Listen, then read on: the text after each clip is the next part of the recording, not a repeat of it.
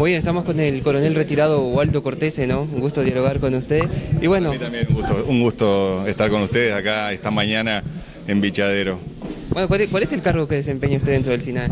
No, yo en este momento estoy retirado y estoy realizando un apoyo al SINAE como consultor de la Oficina de Naciones Unidas para la reducción del riesgo de desastres. Muy bien, bueno, se lleva a cabo una reunión en este momento, bueno, finalizando la reunión, bueno, ¿cuál es la evaluación, digamos así, de la misma?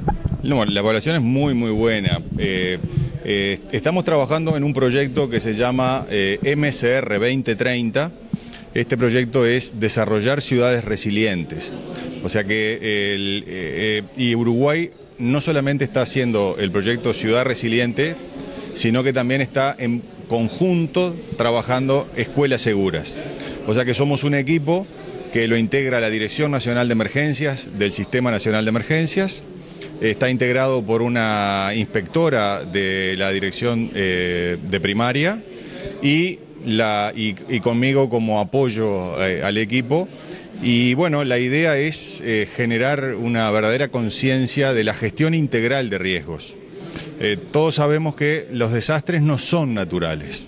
Los desastres se provocan en donde el hombre tiene déficit de desarrollo y cualquier, eh, cualquier viento, por ejemplo, que, antes era normal, esos déficits de desarrollo provocan determinadas emergencias y desastres. Entonces la idea es, gracias a que el alcalde se anotó a la ciudad de Bichadero para el proyecto MCR 2030, el equipo del SINAE puede, este, viene y, estamos trabajando juntos para que Bichadero defina cuáles son eh, sus, sus riesgos, tratar de realizar actividades de reducción de riesgo de desastres y al final, con esos riesgos que no se puedan reducir, trabajar en lo que es la preparación a la respuesta de las emergencias. Exactamente. Cuando hablamos de Bichadero, estamos en la, bueno, en la cumbre del país, decimos nosotros acá, en un lugar muy alto. ¿Cuáles son los riesgos que comúnmente podrían ocurrir por acá?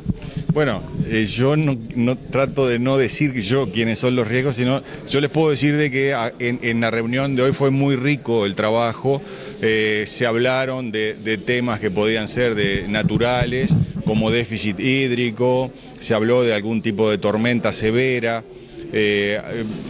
básicamente eh, el tema de los riesgos producto del hombre, ¿no? el tránsito que puede provocar, materiales peligrosos, este, fueron, fueron muchos los temas, pero estamos en el principio, yo no quiero hablar específicamente porque es la localidad la que tiene que definir y en base a su sentir, a la, a la experiencia, trataremos de registrar lo que la localidad piensa de sus riesgos, a los efectos de posteriormente poder con ese diagnóstico eh, realizar todo el proceso una vez que conocemos los riesgos, pasamos a hacer la reducción del riesgo de desastre y por último trabajar en fortalecer la respuesta a esos riesgos que de alguna manera no se puedan este, eliminar.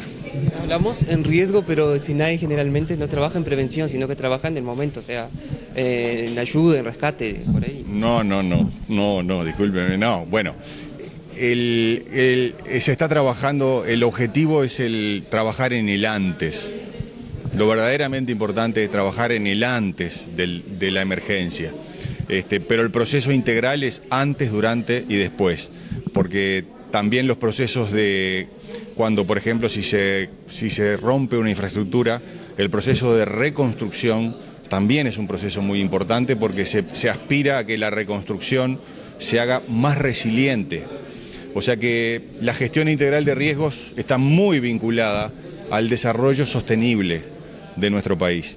Y el SINAE trabaja en la educación, por algo juntamos este, el proyecto Escuelas Seguras, eh, pensando no solamente en la seguridad física de la escuela, sino en, crear una cultura de prevención. Entonces, integrando eh, todo el proceso antes, durante y después. Eh, evidentemente que el, desafío está en concientizar a que el uruguayo haga su propia autoprotección.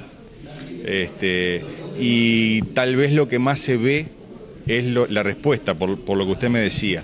Pero no tenga duda que el objetivo del SINAE es trabajar en el antes, en esa prevención, en el durante y en el después de las, de las emergencias. O sea que el proceso es integral, verdaderamente integral. Exactamente, que sí que hay un trabajo entonces, antes de todo hay un trabajo. Sí, sí, por supuesto, por supuesto. Bueno, y ahora que no está pasando nada, este es, el, este es el verdadero trabajo del antes, de que trabajar con normalidad para poder ver cuáles son los posibles riesgos, este, qué se puede hacer, cómo se pueden reducir, este, qué proyectos de largo plazo se podrían implementar, este, qué medidas de autoprotección los ciudadanos pueden tomar. Entonces, un trabajo integral, verdaderamente. Bueno, un gusto dialogar con usted. Y bueno, estas reuniones me, imagino que están previstas seguir ocurriendo, ¿no? Sí, por supuesto, por supuesto. Ahora le dejamos este, tarea de alguna forma a la localidad de, definir este, más concretamente amenazas, vulnerabilidad, exposición para, definir riesgos. Y bueno, y seguiremos trabajando en conjunto y con el apoyo del proyecto para, para tener una, una calidad de vida mejor para toda, para toda Vichadero muchas gracias. Un gusto, verdaderamente.